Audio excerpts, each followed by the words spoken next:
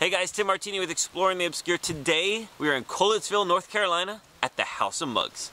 A retirement project for a young man turns 30,000 coffee mugs on his house and fence. We're gonna meet up with Mr. Sisk himself, probably have a cup of coffee if we can find a mug somewhere around here.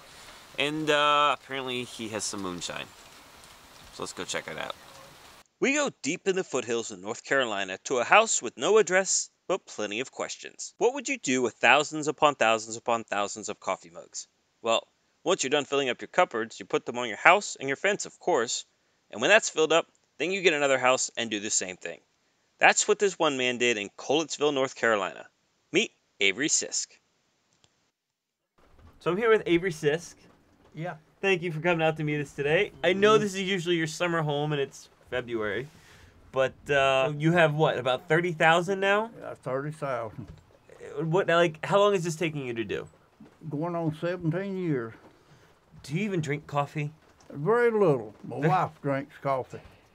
And, and where do you where do you get most of these? Thrift stores. Thrift stores? Do you just? Yeah. I mean, but you have a lot of visitors at this point yeah, now, we right? have thou- uh, five thousand, five hundred to a thousand a year. Now, does anybody bring you coffee mugs at all ever? Yeah. We we happen to bring you one all the way from Canada. That's where I made my drive from. And we, we have some Colombian coffee uh, that we can we can make some coffee with if you'd like. Uh, it, it came from Walmart though. It didn't actually come from Colombia. They didn't let me bring that back across the border. So if you don't mind, we'll go take a look around the house. Okay. Let's go. Oh, No, you go first. You go on. Age before beauty. Beauty. Well, me, So which one in here is your favorite? You said Ronald Reagan, right? Mr. Ronald Reagan, right here.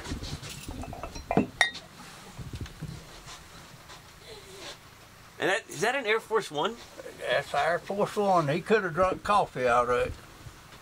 Wow, that's pretty cool.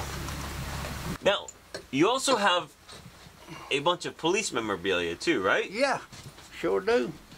It's In the, in, uh, obviously, it's in here. I got badges and. Badges, patches.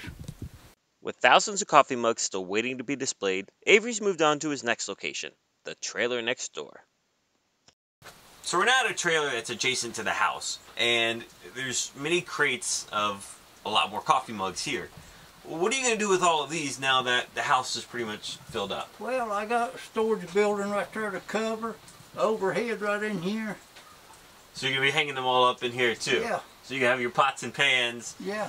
and your, and your coffee mugs in here. Whether it's a mug with hearts on it, year-round Christmas mugs, or really just any random mug, you're sure to find it here, amongst thousands of others, and nowhere else but the House of Mugs. From the House of Mugs in Collettsville, North Carolina. I'm just Your arms are getting tired. We can't find any good help nowadays. Three days, three sound people. I quit. you. I'll get it for you. From Collettsville, North Carolina, I'm Tim Martini with Exploring the Obscure. Follow all of my adventures on Facebook and YouTube under Exploring the Obscure, or follow me directly on Instagram and Twitter at Timmy Martini. So until next time, keep your bags packed. When you can't find good help, do it yourself. Let's go explore.